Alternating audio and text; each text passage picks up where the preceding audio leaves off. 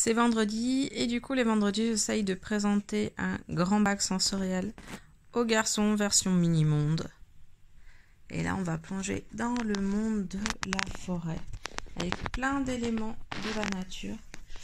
Et on va retrouver nos figurines cachées un petit peu partout dans son décor.